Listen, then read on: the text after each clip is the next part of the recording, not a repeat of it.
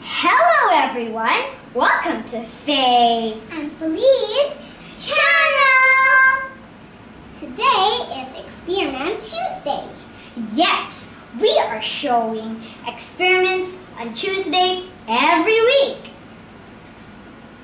Okay, let's get started!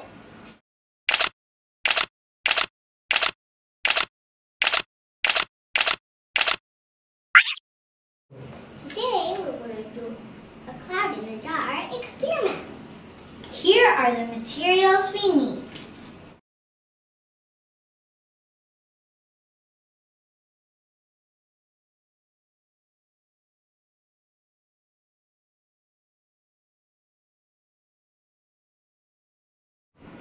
First, we need to put boiling water into the jar. Be careful because it's hot. Very smoke. Very smoke. Smoke, not cloud then. It's not cloud, it's smoke. And this one is Yet. melting. Then we need to wait for a minute to, for it to cool.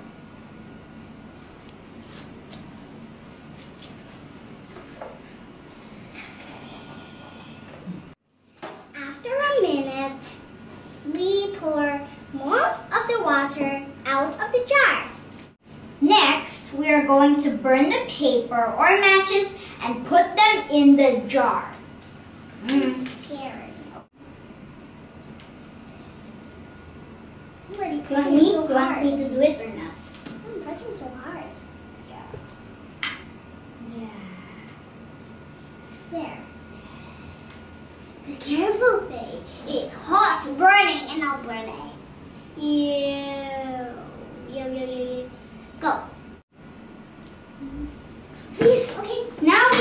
put an ice bag very fast. Please.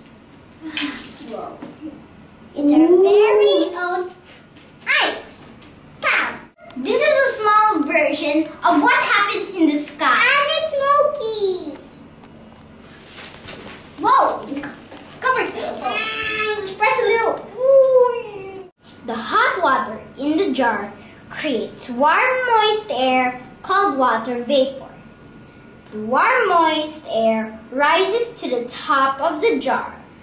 When it reaches the top of the jar, it meets the sinking cold air created from the ice cube. The cold air cools the warm air, and this causes the water it was carrying to condense into tiny droplets. So there you have it. A cloud in a jar experiment. Woo! Wow! Wow! It's like smoke instead. It's like fog.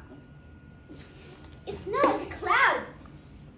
Using the cloud making activity, we also learned that water has three states of matter.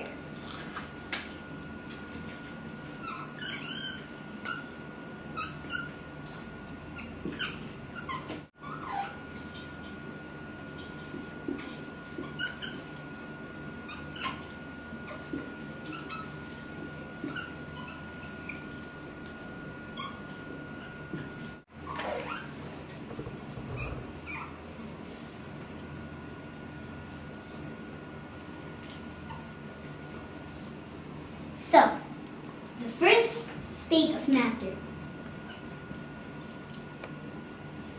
is solid, which represents in the form of ice cube.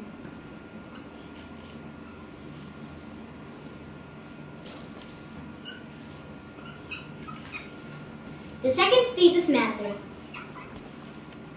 which is liquid.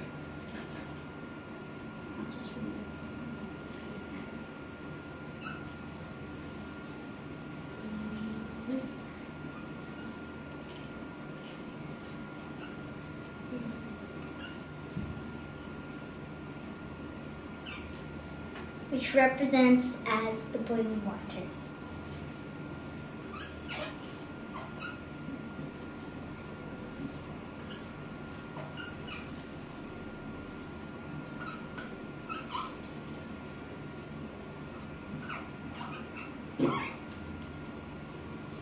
And the third state of matter is gas.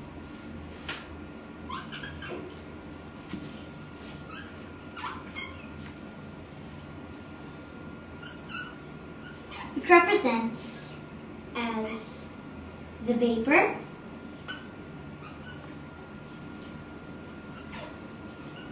or steam.